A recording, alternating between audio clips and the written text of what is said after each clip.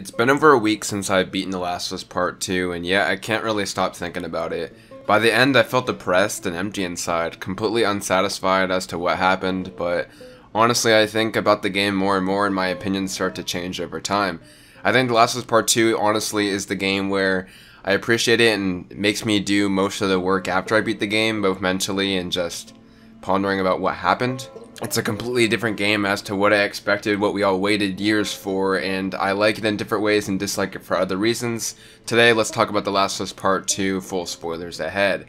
Originally, this video was going to be scripted and was probably going to come out next week or some sort, but just due to timing and honestly wanting to get my opinions out while everyone's still talking about the game, I decided just to make it a raw, commentary style video. And honestly, for this kind of topic and the game overall, I think that's a better way to execute this, so let's just talk about the game and go through it all. Last of Us Part 2, as I said, a lot different of a game. The opening hours, especially. I think it's important to know what I knew going in. Obviously, the leaks happened, you know, about a month over. I made that video talking about how to avoid spoilers, and obviously, since I got a few thousand views, people targeted me with spoilers for it was obviously going to happen. And yeah, I knew going in that Joel died, and I knew about Abby. Those were the two big things I knew about. I kind of figured that Joel would die in the middle of the game, possibly, or towards the end. I still thought that this game would be about Dina dying originally, and that Joel would be still with Ellie and she and he would die in the process or something like that. But that proved me wrong in the opening hours. Yeah, this whole entire game was focused on Joel dying. Literally, The Last of Us is about Joel and Ellie, and they killed off Joel in the opening hours, which is crazy.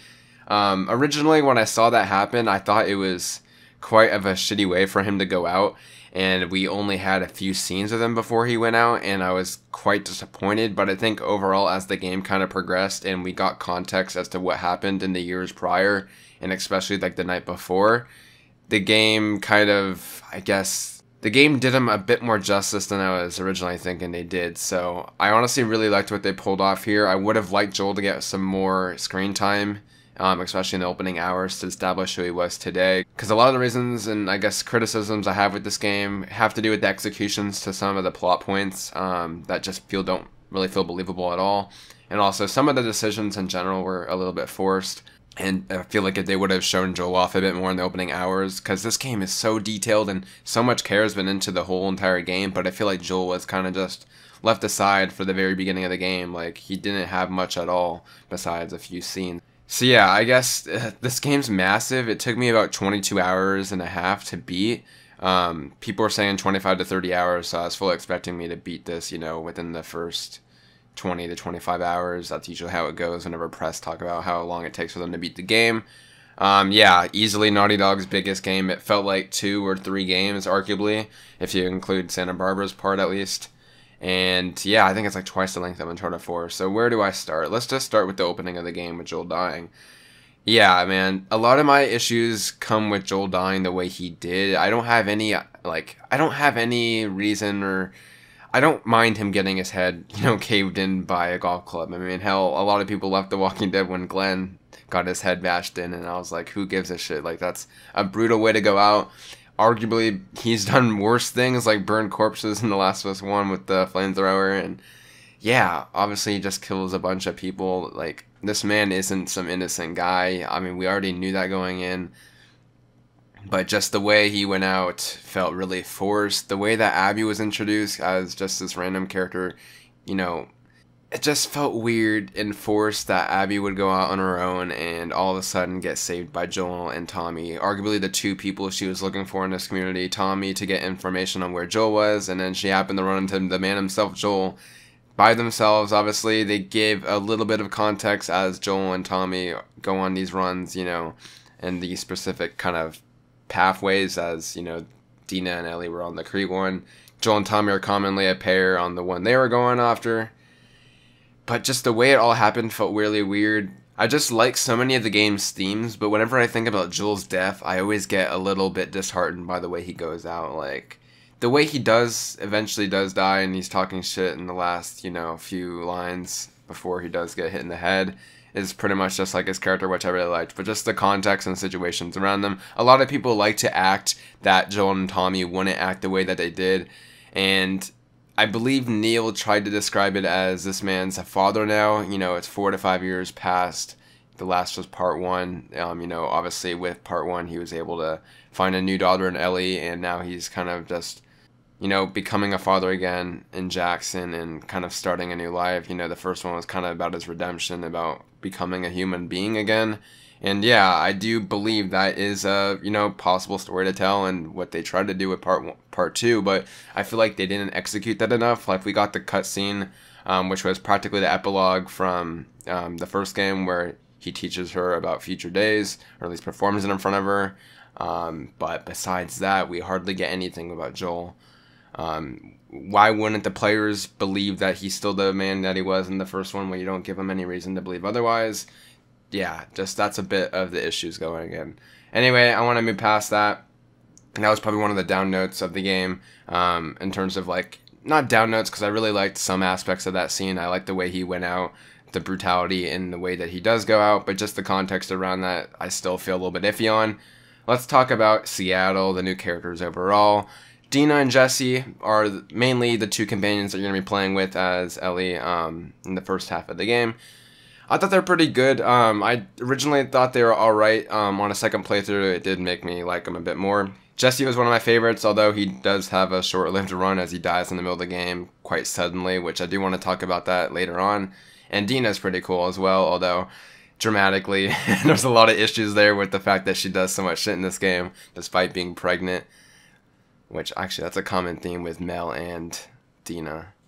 Yeah, as a character though, I really like Dina and um, and Ellie's relationship. There was clear that they're like very best friends, and a lot of times that's where relationships kind of stem from.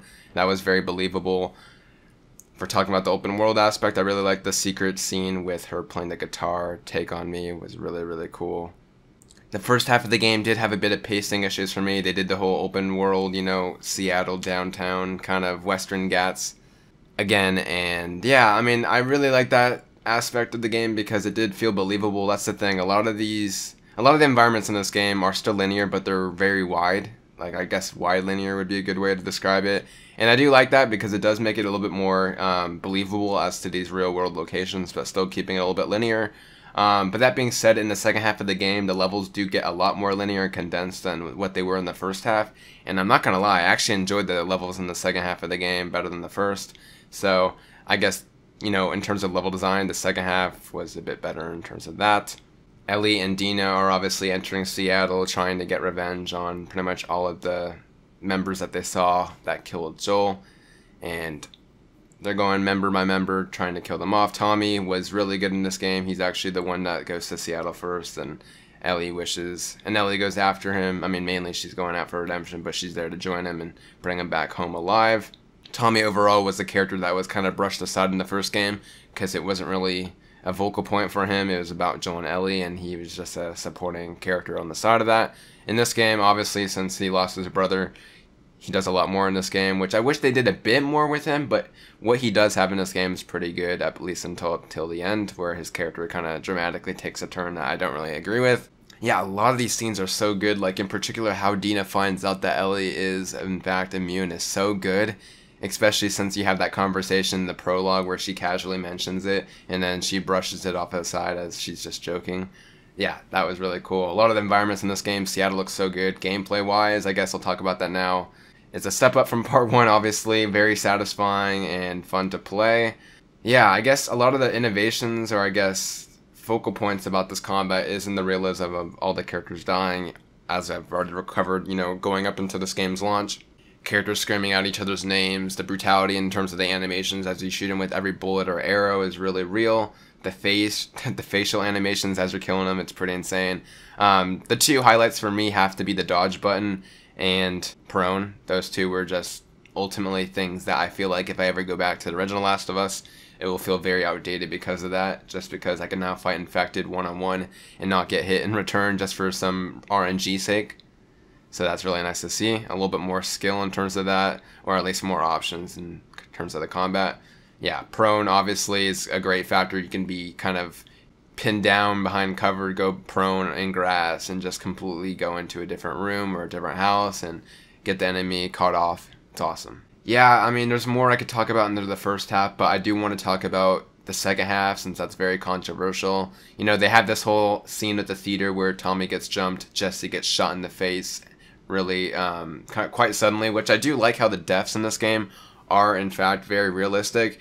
I immediately look back at the first one and you see how Tess goes out. It's very dramatic, it's very heroic. You know, a lot of deaths in media these days are very heroic. You look at everything popular nowadays, a lot of them are just, you know, people being very heroic and The Last of Us kind of goes every way against that, if that makes any sense. You're given characters that are completely flawed and making decisions you don't agree with.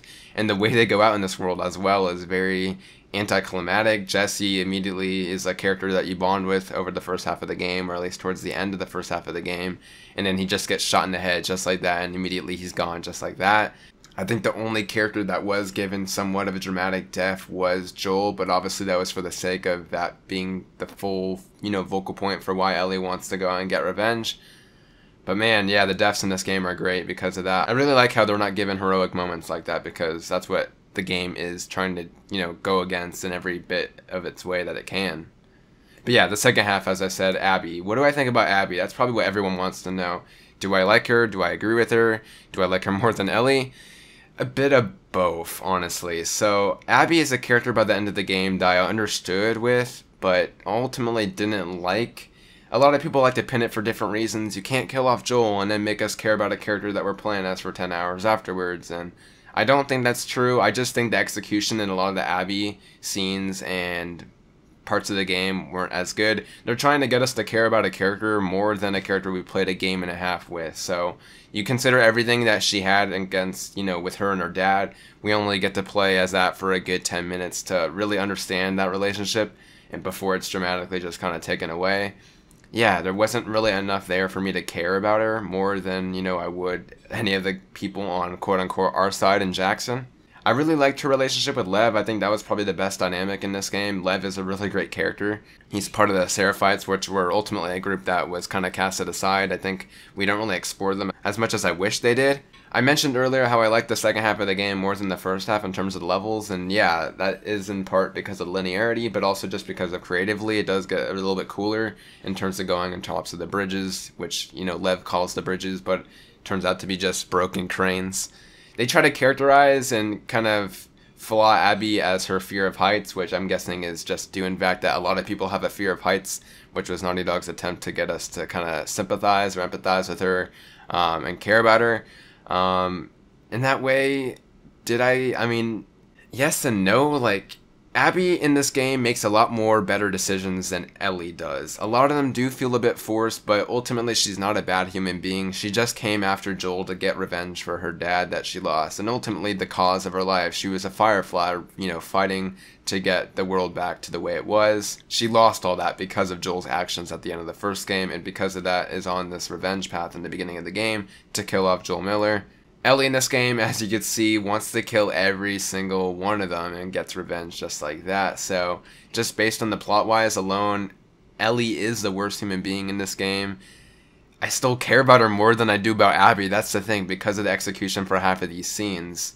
We have the whole game of context behind Joel and Ellie's relationship in the first one, and you can't really cast that aside by giving us a few hours of Abby in the second half of the game to care about her more especially when the character dynamics between the two, as much as I like Lev and Abby, and you know the 10 minutes I guess we had with her father, it just doesn't come anywhere close as what we got in 2013 because of that. I honestly believe a lot of this game could have been better if the executions were a bit better. I like the themes overall. I like the reveal that Abby was in fact the daughter of the doctor who, you know, some would argue feels a bit forced and doesn't need to be a, you know, a thing, but I actually do think that's a good idea just for the fact that you know anyone you kill in this world ultimately does have family members. Like it's going to make sense that anyone you kill just there's going to be consequences. There's going to be people's lives that you ruins because of those simple acts that you might just seem as one life but ultimately has a chain of reactions at the end of the day. So in that aspect i don't have any issues with that. I really like that. Marlene coming back was a cool moment. Just nostalgia there. Honestly all the flashbacks were really cool um, in terms of everything that we gained. Although Abby's flashbacks, I cared more about Owen a bit. Owen's a character that I actually cared about quite a bit. He's kind of a bit of the hope in this game. At least he seems to be one of the more charismatic characters. Um, but yeah, as I said, the executions for a lot of the stuff. Like when Manny died in the second half, which, by the way, one of the best sequences in this game was the sniper. I immediately knew that was Tommy. Um, and that was such a cool way to go against, you know, such a pivotal character that we see as one of us, if that makes any sense. So that was pretty cool. But as I said, the execution, I cared. I was like literally cheering that man he got shot in front of me as I'm playing as Abby because that was so badass. And ultimately, you see these characters, you see how much Ellie loses in the first half of the game and just how much she loses overall. And then you see Tommy finally get a victory in that sense. And yeah, I don't know. A lot of people like to say like, "Oh, if you don't care about Abby, you're just having a bias or like you're not getting the true understanding of the story."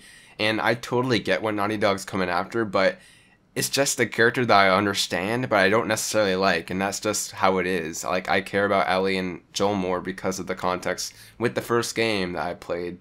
And for many people, I feel like they know the same. Abby's not a bad character. I think Laura Bailey honestly was one of the better performances in this game, especially in the theater. Was really good. I liked Abby more than Nadine from Uncharted 4, which a lot of people like to hate on as well. Which, by the way, I wonder if half the hate on Abby is literally just because she's buff. Like, I don't understand that at all. Like, so what if she's buff? What does that do to you? I don't know. It's stupid, man.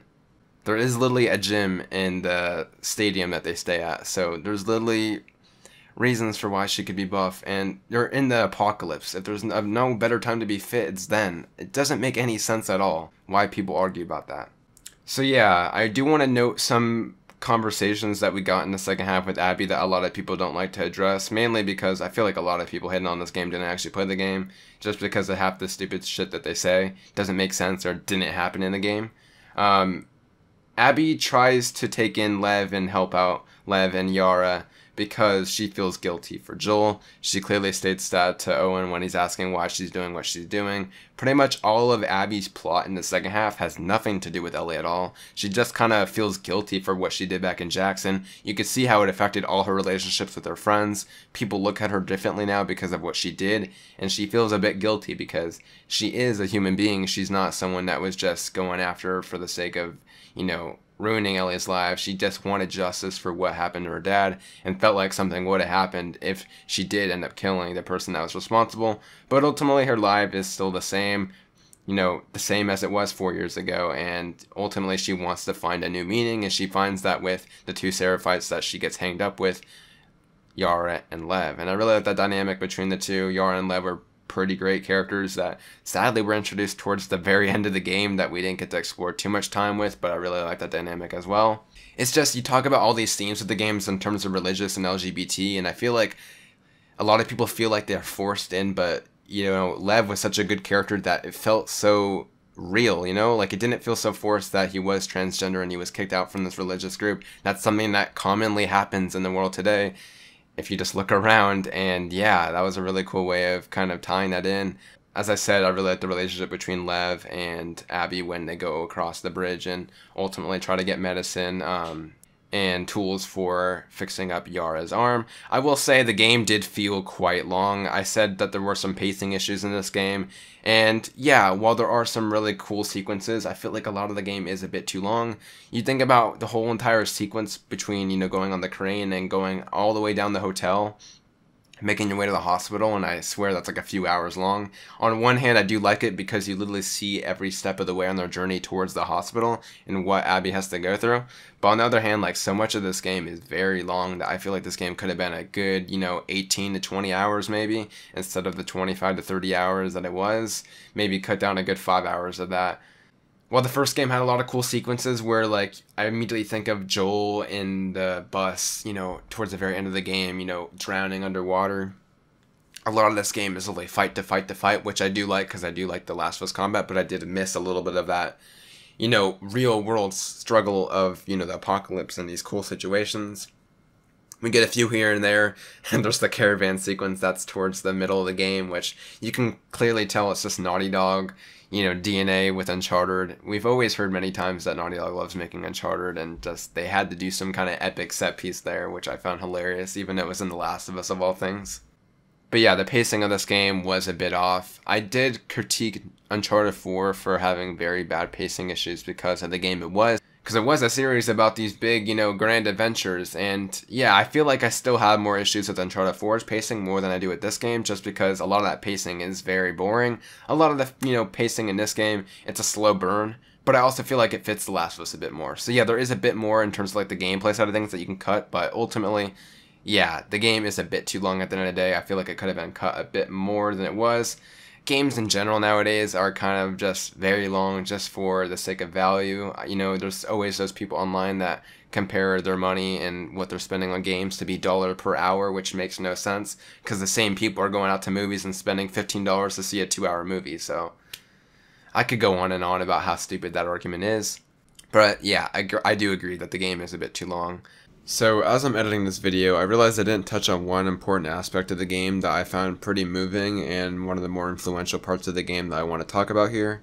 I like on the first half of the game you see Abby, or at least you hear about Abby, and you think that she's just kind of like a typical villain hiding away from Ellie or just moving on and kind of just doing her own thing or, you know, pretty much just being there and like you have this hatred towards her but as you play through the second half of the game you kind of realize that abby's kind of just doing her own thing kind of living her life trying to make up for the things that she's doing and then you come back and realize that ellie's just kind of fucked up your life there. So it's kind of a cool way like of different perspectives that abby isn't exactly just trying to hide living her life after killing joel. She's kind of doing her own thing and i felt that was pretty moving it's a really cool use of perspective there that i felt was one of the better things that actually kind of executed really well in this game. So yeah, ultimately we do find ourselves going back to the theater, this time as Abby, and yeah, a lot of the game's pivotal plot points happen here, as I already mentioned. We see Jesse die in this sequence, and then Abby says to Ellie about how all her friends died because of Ellie and that she gave her an a way out. She didn't kill Ellie, and then she wasted it. And I gotta say, this whole sequence was pretty cool fighting Ellie. She was a bit better of an AI than, you know, most people. This kind of reminded me like the David boss battle. And yeah, it did feel very uncomfortable to be fighting against Ellie, which is a character that's beloved to us. It did feel very uncomfortable, which I think was the point of that sequence. So I did like that, although I was very scared I was about to kill her because the same spoiler that I read that Joel died, I read that Joel that Ellie does too. Like it said Joel dies, Ellie too, and I was like, bro, really about to kill Ellie in a boss battle? That shit's whack. But luckily, she doesn't, and for a weird reason, to be honest, because moments before she finds Owen dead and Mel dead, and literally that's like the only few people in the world left that she cares about. Owen's her best friend. We get these flashbacks of how much Owen means to her and the relationship, almost as it is like the Joel and Ellie, you know, relationship. I know they tried to make that with her and her dad, but the flashbacks for Abby's side were with her and Owen. They built up this relationship just for him to die so casually, which I kind of liked, as I said before, more realistic. But then Abby kind of just goes after Ellie and then breaks her arm and forgives her. She smashes Dina's head in, almost kills her because she's pregnant because Mel was pregnant, kind of like an eye for an eye. And yet she doesn't because Lev says that she shouldn't, which by the way, for Lev's reasons, that's completely reasonable. There's dialogue talking about how he doesn't believe that the Seraphites are in the right because of their Messiah, pretty much saying that you know, killing isn't the way, and that his people are losing their vision for what that Messiah was saying. But for Abby, it makes no sense. Like, Owen literally just died, and yet that's someone that you cared about years and years for, arguably your best friend and someone you loved. And obviously, there's the whole relationship aspect between them. And then she just forgives him. Like, it felt so forced. That was another thing that just didn't make sense for the character. Like, it almost like they wanted to make her feel peaceful just for the sake of making Ellie look bad. I mean, I guess you could say the argument is that Joel didn't really Joel's death didn't you know satisfy her, so she didn't want to make the same mistake with Ellie. But if this person just came after you for what you did and like killed all your friends, like I don't know, man. I feel like it would have made more sense for Abby to kill Ellie there. I mean, I'm glad it didn't happen. Don't get me wrong, but it just felt a little forced just to make Abby seem like the yin or something like that, you know. So yeah, then we cut to black, and we are nine months later or thereabouts because of you know Dina's baby with Jesse. We see Ellie living the farm life, which by the way, it's so weird to think about Ellie being a mom now because you literally look at how fast these people growing up in this world.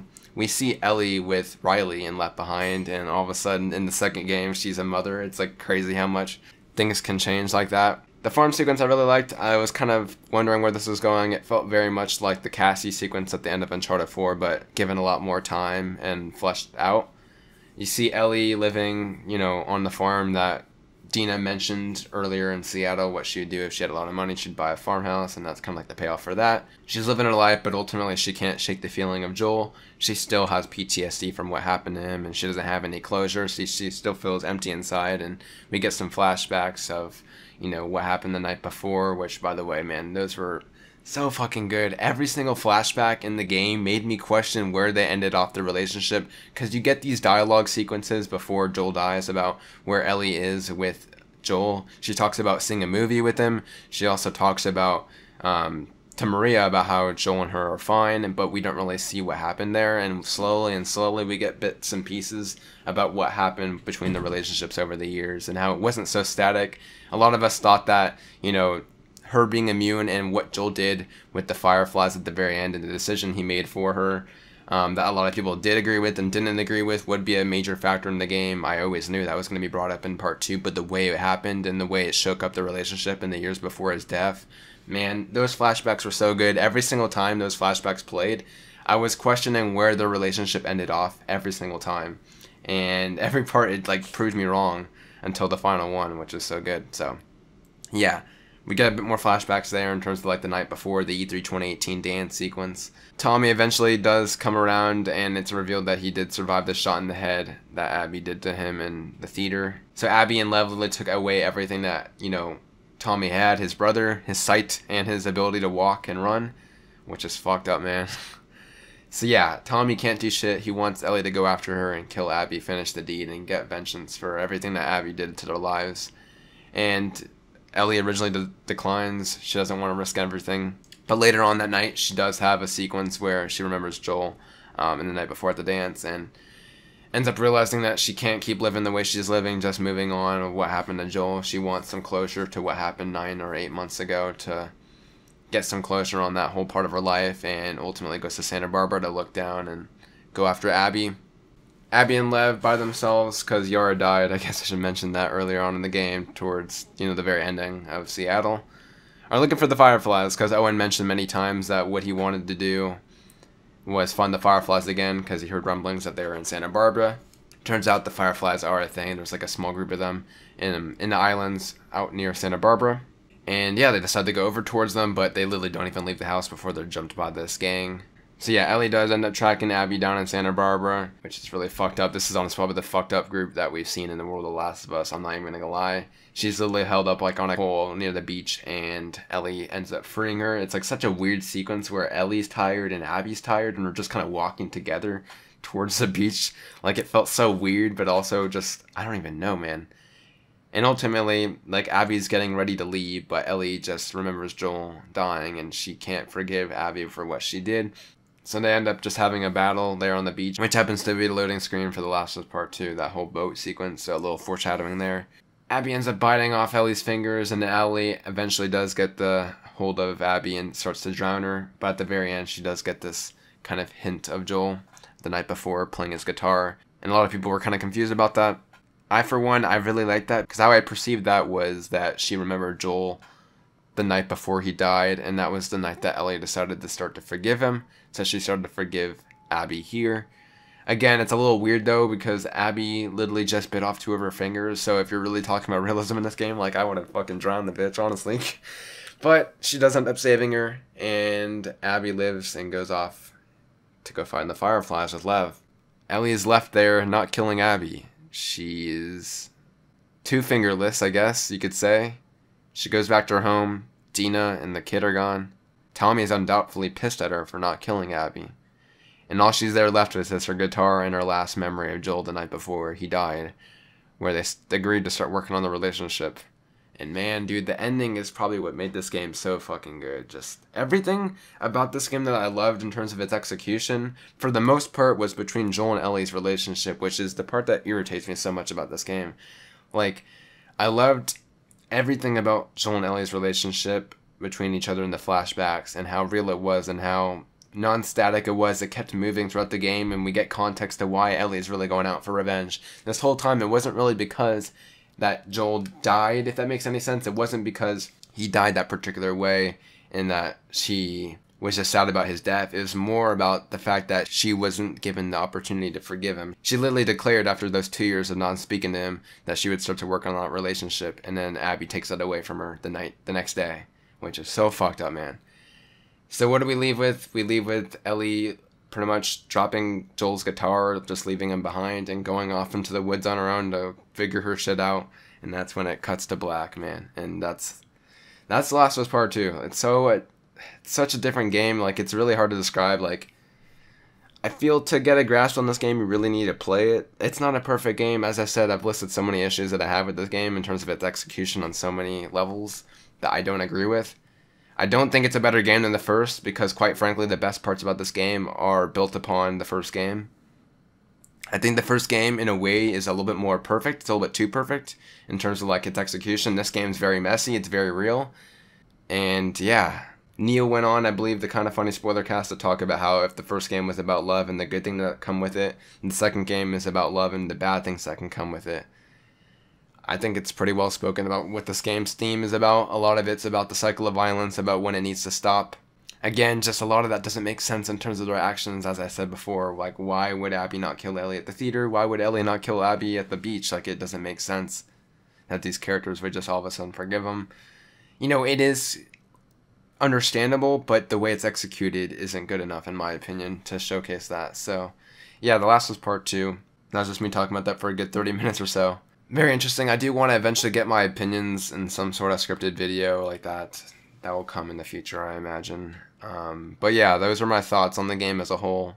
Such a very different game. The first one was about Joel and Ellie. This whole trip across the United States. This is a very focused experience of character study between all these characters in Seattle in a focused place.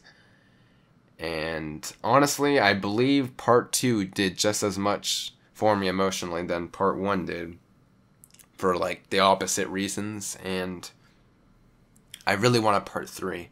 I didn't want a part two. I mean, okay, I'll rephrase that. I didn't need a part two. I thought that they could pull off a part two if they wanted to I didn't expect it to be like this, obviously. Um, but I really want a part three. If The Last Us Part One was about love, and The Last Us Part Two was the downsides of love, or I guess you could say hate if you want to summarize that. I really hope Part Three is about hope. I mean, it might be hitting the nail on, and it might be a little bit cliche, but I really hope that Ellie finds some sort of hope in this world in Part Three. There is a bit of a tease there at the end of the game that the Fireflies are still alive. Abby knows that Ellie is still alive there's possibility that they still want to go after Akir. She might get involved in part three. Maybe it's eventually revealed that someone else is immune to the virus. I was talking to my friend about how maybe Ellie might find someone that's like a kid that's getting hunted down by the fireflies for a cure, and maybe she looks after that kid and ends up bonding with him, similar to the first game. That might be a little bit too cliche, but she might finally understand why Joel did what he did at the end of the first game, kind of come in full circle. Maybe that's how they include flashbacks. I honestly don't know how Joel would even fit in in terms of a part three. Like it would have to feel, it would be very hard not to feel forced if that makes any sense. So, Last of Us part two. Everyone a very different game than I expected going in. I liked it a lot. Again, this is more for a spoiler talk about the story beats in this game more so than the gameplay.